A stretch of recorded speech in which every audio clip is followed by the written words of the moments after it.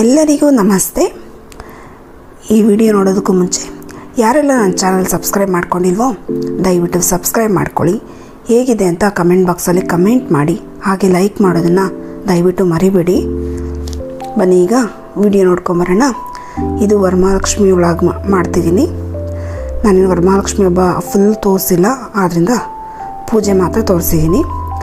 ಅದಕ್ಕೆ ನಾನು ಚಕ್ಲಿ ಕರ್ಜಿಕಾಯಿ ಎಲ್ಲ ಮಾಡ್ಕೊಂಡಿದ್ದೆನಲ್ಲ, ಅದನ್ನೆಲ್ಲ ಈ ವಿಡಿಯೋದಲ್ಲೇ ಹಾಕ್ತಿದ್ದೀನಿ ನೋಡಿ ಇಲ್ಲಿ ಫಸ್ಟ್ಗೆ ನಾನು ಕರ್ಜಿಕಾಯಿ ಮಾಡ್ಕೊಳ್ತಿದ್ದೀನಿ ಎರಡು ಕಪ್ಪಷ್ಟು ಕಡಲೆಪಪ್ಪು, ಒಂದು ಕಪ್ಪಷ್ಟು ಕಡಲೆ ಬೀಜ ಒಂದು ಕಪ್ಪು ಬೆಲ್ಲ, ಹಾಗೆ ಒಂದು ಕಪ್ಪು ಒಣ ಕೊಬ್ಬರಿ ಒಂದು ಹತ್ತು ಏಲಕ್ಕಿ ತೊಗೊಂಡಿದ್ದೀನಿ ಇದನ್ನೆಲ್ಲ ಪೌಡ್ರ್ ಮಾಡ್ಕೋಬೇಕು. ಇದೆಲ್ಲ ಒಂದೊಂದು ಸರಿ, ಒಂದೊಂದು ಮಾಡೋಕ್ಕಾಗಲ್ಲ. ಆದ್ದರಿಂದ ಕಡಲೆಪಪ್ಪು ಒಂದು ಇಡಿ ಹಾಕ್ಕೊಂಡು, ಇದಕ್ಕೆ ಕಡಲೆ ಬೀಜ ಒಂದು ಸರ್ತಿ, ಹಾಗೆ ಬೆಲ್ಲ ಕಾಯಿ ತುರಿ ಎಲ್ಲನೂ ಕಡಲೆಪಪ್ಪು ಜೊತೆ ಮಿಕ್ಸ್ ಮಾಡಿಕೊಂಡು ಗ್ರೈಂಡ್ ಮಾಡ್ಕೋಬೇಕು. ಏಕೆಂದರೆ ಕಡಲೆ ಬೀಜ ಒಂದೇ ಹಾಕಿದ್ರೆ ಅದು ಸ್ವಲ್ಪ ಆಯಿಲ್ ಬಿಡುತ್ತಲ್ವ? ಅದೆಲ್ಲ ಅಂಟಂಟಾಗುತ್ತೆ ಆದ್ದರಿಂದ ಕಡಲೆಪಪ್ಪು, ಕಡಲೆ ಬೀಜ ಹಾಕ್ಕೋಬೇಕು. ಹಾಗೆ ಮತ್ತೆ ಕಡಲೆಪಪ್ಪು ಹಾಕ್ಕೊಂಡು ಹಾಗೆ ಕಾಯಿ ತುರಿನೂ ಹಾಕ್ಕೋಬೇಕಾಗುತ್ತೆ. ಈ ರೀತಿ ಚೆನ್ನಾಗಿ ನುಣ್ಣಗೆ ರುಬ್ಕೋಬೇಕು. ಹಾಗೆ ಕಾಯಿ ತುರಿ ಹಂಗೆ ಹಾಕಬೇಡಿ. ಕಾಯಿ ತುರಿನೂ ಮಿಕ್ಸಿ ಮಾಡಿಕೊಂಡೇ ಹಾಕಬೇಕು. ನೋಡಿ ಇಲ್ಲಿ ಕಡಲೆಪಪ್ಪು ಒಂದೆರಡು ಸರ್ತಿ ಗ್ರೈಂಡ್ ಮಾಡಿಕೊಂಡು, ಹಾಗೆ ಬೆಲ್ಲನೂ ಹಾಕ್ಕೊಂಡು ಗ್ರೈಂಡ್ ಮಾಡ್ಕೊಳ್ತೀನಿ. ಬೆಲ್ಲ ಕುಟ್ಕೊಂಡಿದ್ದೀನಿ ಅಂತ ಹಂಗೆ ಹಾಕಿದ್ರೆ ಕರ್ಜಿಕಾಯಲ್ಲಿ ಬೆಲ್ಲ ಬೆಲ್ಲ ಸಿಗುತ್ತೆ. ಆದ್ದರಿಂದ ಒಂದೇ ಸರ್ತಿ ಮಿಕ್ಸಿ ಮಾಡ್ಕೊಂಬಿಡಿ. ಅಥವಾ ಏನೋ ಸ್ವಲ್ಪ ಬೆಲ್ಲ ಅಂಟಿದೆ ಅಂತ ಒಂದು ಒನ್ ಅವರ್ ಎರಡು ಅವರ್ ಬಿಸಿಲಿಗೆ ಹಾಕ್ಕೊಂಡು ಈ ರೀತಿ ಪೌಡ್ರ್ ಮಾಡ್ಕೊಳ್ಳಿ. ಎಲ್ಲ ಪೌಡ್ರ್ ಆದರೆ ಕರ್ಜಿಕಾಯಿ ಮಾಡೋಕ್ಕೆ ತುಂಬ ಚೆನ್ನಾಗಿರುತ್ತೆ. ನೋಡಿ ಕಾಯಿ ತುರಿನೂ ಅಷ್ಟೇ ಮಿಕ್ಸಿಗೆ ಹಾಕ್ಕೊಂಡು ಪೌಡ್ರ್ ಮಾಡ್ಕೋಬೇಕು. ಕಾಯಿ ತುರಿನೂ ಅಷ್ಟೇ ಒನ್ ಅವರ್ ಬಿಸಿಲಿಗೆ ಹಾಕ್ಕೊಂಡ್ರೆ ನೀಟಾಗಿ ಪೌಡ್ರ್ ಆಗುತ್ತೆ. ನೋಡಿ ಈಗ ಎಲ್ಲ ರುಬ್ಕೊಂಡಿದ್ದಾಯಿತು. ಲಾಸ್ಟ್ಗೆ ಏಲಕ್ಕಿನ ಹಾಕ್ಕೊಂಡು ರುಬ್ಕೊಂಡು ಎಲ್ಲನೂ ಒಂದು ಬೇಸನ್ಗೆ ಹಾಕ್ಕೊಂಡಿದ್ದೀನಿ ಇದನ್ನೆಲ್ಲ ಚೆನ್ನಾಗಿ ಒಂದು ಸರ್ತಿ ಮಿಕ್ಸ್ ಮಾಡ್ಕೋಬೇಕು. ಏಕೆಂದರೆ ನಾವು ಎಲ್ಲ ಒಂದೊಂದು ಸರ್ತಿ ಒಂದೊಂದು ಹಾಕ್ಕೊಂಡಿದ್ದೀವಿ ಆದ್ದರಿಂದ ಚೆನ್ನಾಗಿ ಮಿಕ್ಸ್ ಮಾಡಿಕೊಂಡು ಒಂದು ಬಾಕ್ಸ್ ತುಂಬ ತುಂಬಿಟ್ಕೊತಾ ಇದ್ದೀನಿ ಇದನ್ನು ಒಂದೇ ಸರ್ತಿ ಏನು ಮಾಡಲ್ಲ ನಾನು. ಯಾವಾಗ ಬೇಕೋ ಅವಾಗ ಮಾಡ್ಕೊಳ್ತೀನಿ. ಆದ್ದರಿಂದ ಒಂದು ಸರ್ತಿ ಎಲ್ಲ ಪೌಡ್ರ್ ಮಾಡಿ ಇಟ್ಕೊಂಡು ಫ್ರಿಜ್ಜಲ್ಲಿ ಇಟ್ಕೊಂಡ್ಬಿಡ್ತೀನಿ. ನೋಡಿ ಇಲ್ಲಿ ನಾನು ಒಂದು ಕೆ ಜಿಯಷ್ಟು ಮಾಡ್ತಿದ್ದೀನಿ ಅಷ್ಟೇ ಈಗ. ಒಂದು ಕೆ ಜಿಯಷ್ಟು ಮೈದಾ ಹಿಟ್ಟು ತೊಗೊಂಡಿದ್ದೀನಿ ನಾನು. ಈ ಮೈದಾ ಹಿಟ್ಟು ಚೆನ್ನಾಗಿ ಜರಡಿ ಮಾಡ್ಕೊಂಡಾದಮೇಲೆ ಇದಕ್ಕೆ ಒಂದು ಮೂರು ನಾಲ್ಕು ಸ್ಪೂನಷ್ಟು ಎಣ್ಣೆ ಚೆನ್ನಾಗಿ ಕಾಯಿಸ್ಕೊಂಡು ಹಾಕ್ಕೋಬೇಕು. ಒಂದು ಚಿಟಿಕೆ ಉಪ್ಪು ಹಾಕ್ಕೋಬೇಕು. ಉಪ್ಪೇನು ಜಾಸ್ತಿ ಹಾಕ್ಕೋಬೇಡಿ. ಉಪ್ಪು ಹಾಕ್ಕೊಂಡಾದ್ಮೇಲೆ ಎಣ್ಣೆನೂ ಹಾಕ್ಕೊಂಡು ಚೆನ್ನಾಗಿ ಆ ಎಣ್ಣೆ, ಹಸಿಟ್ಟು ಎಲ್ಲ ಚೆನ್ನಾಗಿ ಮಿಕ್ಸ್ ಆಗಬೇಕು. ಜೊತೆಗೆ ಒಂದು ಸ್ಪೂನು ಅರಿಶಿನೂ ಹಾಕ್ಕೊಂಡಿದ್ದೀನಿ ಸ್ವಲ್ಪ ಕಲರ್ಗಷ್ಟೇ ಅದು. ನೋಡಿ ಈ ರೀತಿ ಎಣ್ಣೆ ಹಾಕ್ಕೊಂಡು ಹಸಿಟ್ಟು ಚೆನ್ನಾಗಿ ಎರಡು ಕೈಯಲ್ಲಿ ನಾದ್ಕೋಬೇಕು. ಆಗ ಎಲ್ಲ ಹಿಟ್ಟಿಗೆ ಎಣ್ಣೆ ಚೆನ್ನಾಗಿ ಮಿಕ್ಸ್ ಆಗುತ್ತೆ. ಒಂದು ಇಡೀ ಮುಷ್ಟಿ ಹಿಡಿದು ಬಿಟ್ಟಾಗ ಅದು ಉಂಡೆ ಥರ ಬರಬೇಕು. ಆವಾಗ ಎಲ್ಲ ಎಣ್ಣೆ ಚೆನ್ನಾಗಿ ಕರೆಕ್ಟಾಗಿ ಆಗಿದೆ ಅಂತ ಅರ್ಥ. ಎಣ್ಣೆ ಅಷ್ಟೇ ತಣ್ಣಗೆ ಮಾಡ್ಕೋಬೇಡಿ. ಚೆನ್ನಾಗಿ ಕಾಯಿಸ್ಕೊಂಡು ಎಣ್ಣೆ ಹಾಕ್ಕೊಳ್ಳಿ. ಇದೆಲ್ಲ ಮಿಕ್ಸ್ ಮಾಡಿದ್ದಾದಮೇಲೆ ಇದಕ್ಕೆ ಸ್ವಲ್ಪ ಸ್ವಲ್ಪನೇ ನೀರು ಹಾಕ್ಕೋಬೇಕು. ಒಂದೇ ಸರ್ತಿ ನೀರು ಹಾಕ್ಕೊಂಬಿಡಿ. ಏಕೆಂದರೆ ಇದು ಗಟ್ಟಿಯಾಗಿ ಕಲಿಸ್ಕೋಬೇಕು. ನೀರು ಜಾಸ್ತಿ ಹಾಕ್ಕೊಂಡ್ರೆ ತೆಳುವಾಗ್ಬಿಡುತ್ತೆ. ಆದ್ದರಿಂದ ಸ್ವಲ್ಪ ಸ್ವಲ್ಪನೇ ಹಾಕ್ಕೊಂಡು ಚಪಾತಿ ಹಿಟ್ಟಿಗಿನ್ನ ಜಾಸ್ತಿ ಗಟ್ಟಿಯಾಗಿ ಕಲಿಸ್ಕೋಬೇಕಿದು. ಎಷ್ಟು ಗಟ್ಟಿಯಾಗಿದ್ದರೆ ಅಷ್ಟು ಕ್ರಿಸ್ಪಿಯಾಗಿ ಬರುತ್ತೆ. ನೋಡಿ, ಇಲ್ಲಿ ನಾನು ಚೆನ್ನಾಗಿ ಕಲಿಸ್ಕೊಂಡಿದ್ದಾಗಿದೆ. ಇದನ್ನು ಈಗ ಸೈಡ್ಗೆ ಇಟ್ಕೊಂಡು ಕರ್ಜಿಕಾಯಿ ಹೇಗೆ ಮಾಡೋದು ಅಂತ ನೋಡೋಣ. ನಾನು ಇದನ್ನೇ ನೆನೆಸ್ತಾ ಇಲ್ಲ. ಯಾಕೆಂದರೆ ನಾವು ಹೊಸ್ಕೊಂಡು ಉಂಡೆ ಮಾಡ್ಕೊಳ್ಳೋದು ಹೊಸ್ಕೊಳ್ಳೋದು ಹಾಗೆ ಇದೆಲ್ಲ ಫೋಲ್ಡ್ ಮಾಡಿ ಇಟ್ಕೊಳ್ಳೋಷ್ಟೊಳಗೆ ಇದು ಆಲ್ಮೋಸ್ಟ್ ಅಲ್ಲಿ ನೆನೆಯುತ್ತೆ. ಹಾಗಾಗಿ ಒಂದು ಇಪ್ಪತ್ತು ನಿಮಿಷ ಎಲ್ಲ ಏನು ಬಿಡೋಕ್ಕೆ ಹೋಗ್ಬೇಡಿ. ಹಂಗೇ ಹೊಸ್ಕೊಂಡು ಫೋಲ್ಡ್ ಮಾಡ್ಕೊಬೋದು. ನೋಡಿ, ಇಲ್ಲಿ ಫಸ್ಟ್ ನಾನು ಒಂದು ಅರ್ಧದಷ್ಟು ಉಂಡೆ ಮಾಡ್ಕೊಂಡಿದ್ದೀನಿ. ಎಲ್ಲ ಒಂದೇ ಸರ್ತಿ ಹೊಸ್ಕೊಂಡು ಮಾಡ್ಕೊಳ್ಳೋಕೆ ಸ್ವಲ್ಪ ಕಷ್ಟ ಆಗುತ್ತೆ. ಯಾಕೆಂದರೆ ಎಲೆ ಎಲ್ಲ ಒಣಗಿಬಿಟ್ರೆ ಕರ್ಜಿಕಾಯಿ ಹೊಡೆದೋಗೋ ಚಾನ್ಸಸ್ ಇರುತ್ತೆ. ಒಂದು ಅರ್ಧದಷ್ಟು ಫಸ್ಟ್ ಉಂಡೆ ಮಾಡಿಕೊಂಡು, ಎಲ್ಲ ಒಸ್ಕೊಂಡು, ಇದನ್ನೆಲ್ಲ ಒಂದು ಸರ್ತಿ ತೆಗೆದು ಸೈಡ್ಗೆ ಇಟ್ಕೊಂಡು, ಮತ್ತೆ ಇನ್ನೊಂದು ಸರ್ತಿ ಉಳಿದಿರೋ ಹಿಟ್ಟನ್ನ ಮಾಡ್ಕೋಬೇಕಾಗುತ್ತೆ. ಯಾಕೆಂದರೆ ಒಬ್ಬರೇ ಇದ್ದಾಗ ಈ ರೀತಿ ಎಲ್ಲ ಒಂದೇ ಸರ್ತಿ ಮಾಡೋಕ್ಕಾಗಲ್ಲ. ನೋಡಿ, ಈ ರೀತಿ ನಾನು ಒಂದು ಅರ್ಧಷ್ಟು ಉಂಡೆ ಮಾಡ್ಕೊಂಡಿದ್ದೀನಲ್ಲ, ಅದನ್ನೆಲ್ಲ ಫಸ್ಟು ಒಸ್ಕೊಂಬಿಡ್ತೀನಿ ನೋಡಿ, ಈ ರೀತಿ ಒಂದೊಂದು ಉಂಡೆನೇ ತೊಗೊಂಡು ನಾನು ಇಷ್ಟು ದೊಡ್ಡದಾಗಿ ಮಾಡ್ಕೊಂಡಿದ್ದೀನಿ. ಆಮೇಲೆ ಎಲ್ಲ ಒಂದ್ರ ಮೇಲೆ ಒಂದೇ ಹಾಕ್ಕೊಳ್ತೀನಿ ನಾನು ಎಲೆ. ಯಾಕೆಂದರೆ ನಂದು ಹಿಟ್ಟು ಚೆನ್ನಾಗಿ ಗಟ್ಟಿಯಾಗಿರೋದ್ರಿಂದ ನನ್ನ ಎಲೆಗಳೆಲ್ಲ ಏನು ಅಂಟ್ಕೊಳ್ಳಲ್ಲ.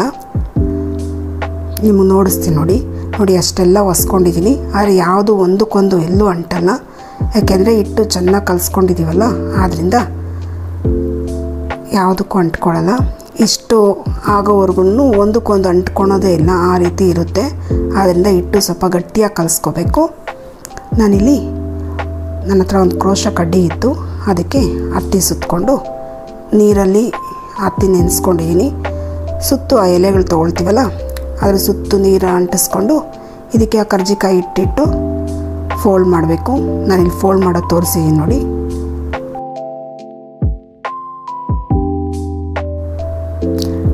ಒಂದನ್ನ ನಾನು ಡಿಸೈನ್ ಮಾಡಿ ತೋರಿಸ್ತೀನಿ.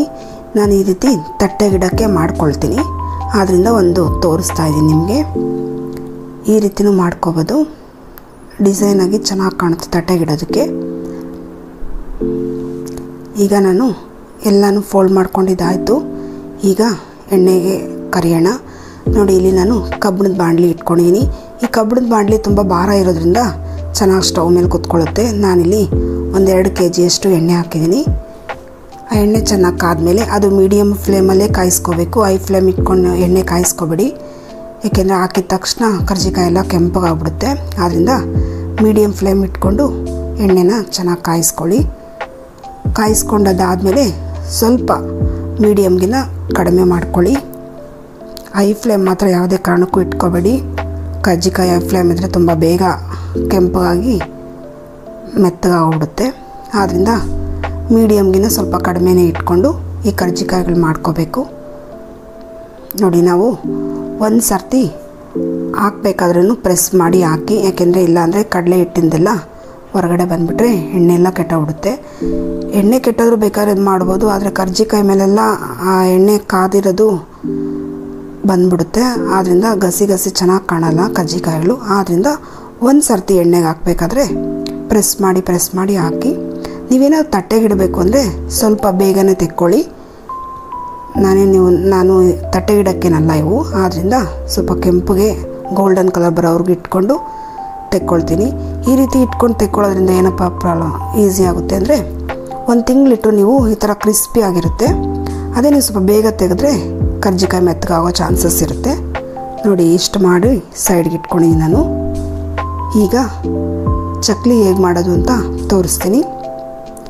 ಒಂದು ಮಿಕ್ಸಿ ಜಾರ್ಗೆ ಒಂದು ಮುಕ್ಕಾಲು ಕಪ್ಪಷ್ಟು ಕಡಲೆ ಬೀಜ, ಒಂದು ಕಾಲು ಕಪ್ಪಷ್ಟು ಕಡಲೆ ಪಪ್ಪು ಹಾಕ್ಕೊಂಡು ಮಿಕ್ಸಿ ಮಾಡ್ಕೊಂಡಿದ್ದೀನಿ ಅದಿಲ್ಲಿ ಒಂದು ಕಪ್ಪಷ್ಟು ಮಾಡಿಕೊಂಡು ಅದೇ ಕಪ್ಪಲ್ಲಿ ಚಕ್ಲಿ ಹಿಟ್ಟು ತೊಗೊಳ್ತೀನಿ. ಈ ಚಕ್ಲಿ ಹಿಟ್ಟು ಹೇಗೆ ಮಾಡೋದು ಅಂತ ನನ್ನ ಚಾನಲಲ್ಲಿದೆ, ಒಂದು ಸರ್ತಿ ನೋಡಿ.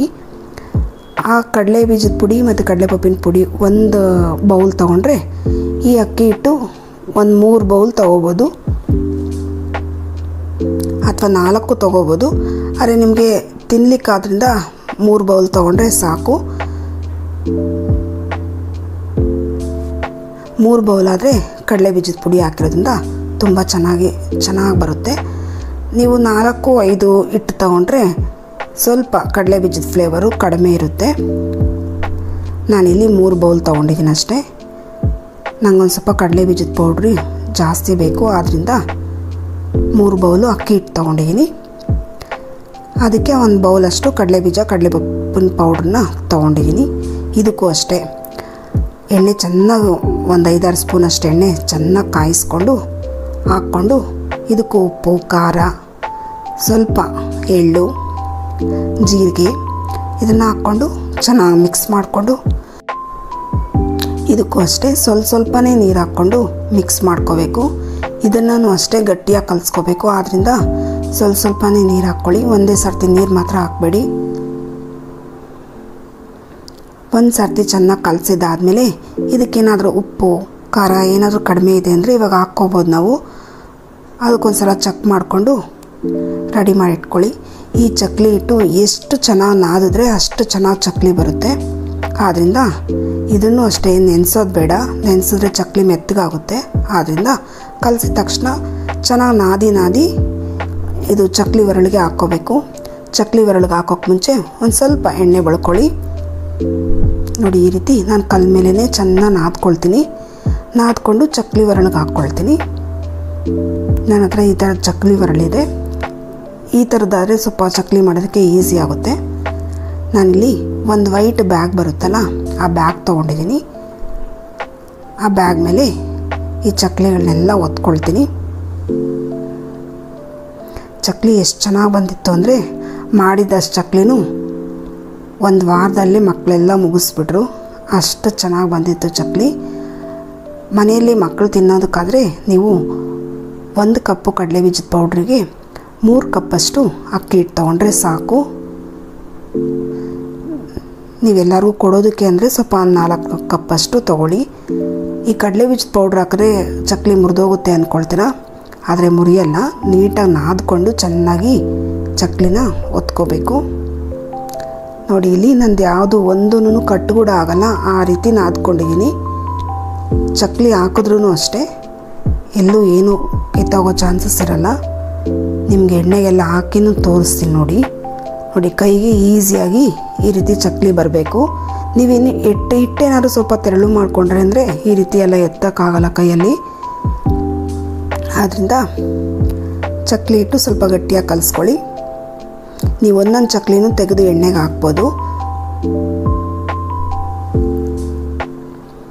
ಈ ರೀತಿ ಚಕ್ಲಿ ಹಾಕಿದ್ಮೇಲೆ ಚಕ್ಲಿನ ಕದಲಿಸ್ಬೇಡಿ. ಅದೇನೇ ಸ್ವಲ್ಪ ಬಬಲ್ಸ್ ಎಲ್ಲ ಕಡಿಮೆ ಆಗ್ತಿದ್ದಾಗ ನೀವು ಒಂದು ಸರ್ತಿ ಉಲ್ಟಾ ಮಾಡ್ಕೋಬೇಕು. ಉಲ್ಟಾ ಮಾಡ್ಕೊಂಡಾದ್ಮೇಲೆ ಈ ಚಕ್ಲಿ ಎಲ್ಲ ಎಣ್ಣೆ ಕೆಳಗಡೆ ಹೋಗಬೇಕು. ಆವಾಗ ಚಕ್ಲಿ ಬೆಂದಿದೆ ಅಂತ ಅರ್ಥ.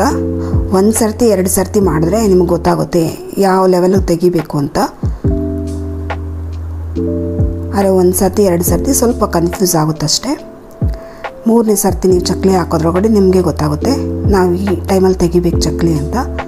ಕಲ್ಲರು ಗೊತ್ತಾಗುತ್ತೆ ಇಷ್ಟು ಕಲ್ಲರ್ ಆದರೆ ಸಾಕು ಅಂತ. ಆವಾಗ ತೆಕ್ಕೊಳ್ಳಿ. ನೋಡಿ, ನಾನು ಚಕ್ಲಿ ಯಾವುದು ಮುರಿದು ಹೋಗಿಲ್ಲ, ಏನೂ ಆಗಿಲ್ಲ. ಒಂದು ಸರ್ತಿ ನೀವು ಈ ರೀತಿ ಟ್ರೈ ಮಾಡಿ. ನೋಡಿ, ಇಲ್ಲಿ ನಾನು ಒಂದು ಬೇಷನ್ ಆಗೋಷ್ಟು ಚಕ್ಲಿ ಮಾಡಿಟ್ಕೊಂಡಿದ್ದೀನಿ ನೋಡಿ ಯಾವುದೂ ಕಟ್ಟೆ ಆಗಿಲ್ಲ, ಅಷ್ಟು ನೀಟಾಗಿ ಚಕ್ಲಿ ಬಂದಿದೆ. ಆದ್ದರಿಂದ ಈ ರೀತಿ ಒಂದು ಸರ್ತಿ ಟ್ರೈ ಮಾಡಿ. ಬನ್ನಿ, ಇವತ್ತು ವರಮಹಾಲಕ್ಷ್ಮಿ ಹಬ್ಬದ ದಿನ. ನಾನು ಹೀಗೆ ಹೊಸಲು ಪೂಜೆ, ತುಳಸಿ ಕಟ್ಟೆ ಪೂಜೆ, ಹಾಗೆ ದೇವ್ರ ಮನೆ ಪೂಜೆ ಹಾಗೆ ಲಕ್ಷ್ಮಿನ ಹೇಗೆ ಕೂರಿಸ್ಕೊಂಡಿದ್ದೆ ಅಂತ ತೋರಿಸ್ತೀನಿ. ನಾನು ತುಂಬ ವೀಡಿಯೋ ಮಾಡೋಕ್ಕಾಗಿಲ್ಲ, ಯಾಕೆಂದರೆ ಮನೆಯಲ್ಲಿ ಅತ್ತೆ, ಮಾವ ಎಲ್ಲ ಬಂದಿದ್ದರು ಆದ್ದರಿಂದ ಅವ್ರ ಜೊತೆ ಟೈಮ್ ಪಾಸ್ ಮಾಡೋದ್ರಲ್ಲೇ ಆಗೋಯ್ತು. ನಾನು ತುಂಬ ವೀಡಿಯೋಗಳು ಮಾಡ್ಕೊಳ್ಳೋಕ್ಕೆ ಆಗಲಿಲ್ಲ. ಆವತ್ತು ಬೇರೆ ನಾವು ಸತ್ಯನಾರಾಯಣ ಪೂಜೆ ಬೇರೆ ಇಟ್ಕೊಂಡಿದ್ವಿ. ಆದ್ದರಿಂದ ಸ್ವಲ್ಪ ಬ್ಯುಸಿ ಬ್ಯುಸಿ ಆಗೋಯ್ತು. ನಾನು ಬೆಳಗ್ಗೆ ಆರು ಗಂಟೆ ಅಷ್ಟೊತ್ತಿಗೆ ದೇವ್ರನ್ನ ಕೂರಿಸಿ ಪೂಜೆ ಎಲ್ಲ ಮಾಡಿಬಿಟ್ಟಿದ್ದೆ. ಬೆಳಗ್ಗೆನೇ ಪೂಜೆ ಮಾಡಬೇಕು ಅಂತೇಳಿದರು ಆದ್ದರಿಂದ ಯಾಕೆಂದರೆ ಮಧ್ಯಾಹ್ನ ಮೇಲೆ ವರಮ, ಇದು ಸತ್ಯನಾರಾಯಣ ಪೂಜೆ ಇತ್ತು. ಆದ್ದರಿಂದ ಬೆಳಗ್ಗೆನೇ ಲಕ್ಷ್ಮಿ ಕೂರಿಸಿ ಪೂಜೆ ಎಲ್ಲ ಮುಗಿದಿತ್ತು. ಲಕ್ಷ್ಮಿ ಕೂರಿಸಿ ಪೂಜೆ ಎಲ್ಲ ಮುಗಿದಾದ್ಮೇಲೆ ನಾವು ಅಡುಗೆಗಳು ಮಾಡಿದ್ವಿ. ಆಮೇಲೂ ಎಡೆ ಎಲ್ಲ ಹಾಕಿ ಪೂಜೆ ಮಾಡಿದ್ದೆ. ಅದೇನು ತೋರಿಸಿಲ್ಲ ನಿಮಗೆ. ಇಲ್ಲಿ ಲಕ್ಷ್ಮಿನ ಹೇಗೆ ಕೂರಿಸಿದ್ದೀನಿ ಅಂತ ತೋರಿಸ್ತಾ ಇದ್ದೀನಿ ಅಷ್ಟೇ. ಈ ಕಡೆಗೆ ಸತ್ಯನಾರಾಯಣ ಪೂಜೆಗೆ ಎಲ್ಲ ರೆಡಿ ಮಾಡಿಟ್ಟಿದ್ದೀನಿ. ಇನ್ನು ಪೂಜೆ ಆಗಿರಲಿಲ್ಲ. ಅದಕ್ಕೂ ಮುಂಚೆನೇ ವಿಡಿಯೋ ಮಾಡಿ ತೋರಿಸ್ತಿದ್ದೀನಿ. ಅಡುಗೆಗಳು ಅಷ್ಟೇ ತುಂಬ ಮಾಡಿದ್ದೆ, ಆದರೆ ಯಾವ ತೋರ್ಸೋಕ್ಕೆ ಆಗಿಲ್ಲ. ನೋಡಿ ಇಲ್ಲಿ ಮಧ್ಯಾಹ್ನ ಸತ್ಯನಾರಾಯಣ ಪೂಜೆ ಆಯಿತು. ಅದನ್ನು ನಾನು ಒಂದು ಕ್ಲಿಪ್ ಆ್ಯಡ್ ಮಾಡಿದ್ದೀನಿ ಅಷ್ಟೇ. ತುಂಬ ವಿಡಿಯೋನೂ ಮಾಡೋಕ್ಕಾಗಿಲ್ಲ. ಇಲ್ಲಿ ನಾನು ಪೂಜೆಗೆಲ್ಲ ಕೂತ್ಕೊಂಡಿದ್ದಲ್ಲ, ಇದೆಲ್ಲ ನನ್ನ ಮಗಳು ಮಾಡಿರೋ ವೀಡಿಯೋಸು. ನಾವು ಮನೆಗೆ ಬಂದು ಒಂದು ವರ್ಷ ಆಯಿತು ಕರೆಕ್ಟಾಗಿ. ಆದ್ದರಿಂದ ಸತ್ಯನಾರಾಯಣ ಪೂಜೆನೂ ಮಾಡಿಸಿದ್ವಿ. ಹೋದ್ವಾರ ಮಹಾಲಕ್ಷ್ಮಿ ಹಬ್ಬಕ್ಕೆ ನಮ್ಮ ಗೃಹ ಪ್ರವೇಶ ಆಯಿತು. ಆದ್ದರಿಂದ ಈ ವಾರ ಮಹಾಲಕ್ಷ್ಮಿ ಹಬ್ಬಕ್ಕೂ ಸತ್ಯನಾರಾಯಣ ಪೂಜೆ ಮಾಡಿಸಿದ್ವಿ.